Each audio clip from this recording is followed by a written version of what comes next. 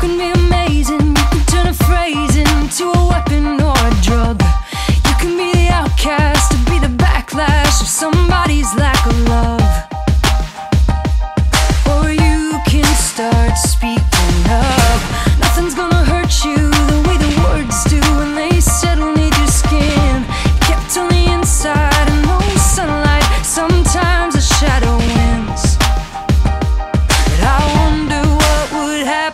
If you say what you wanna say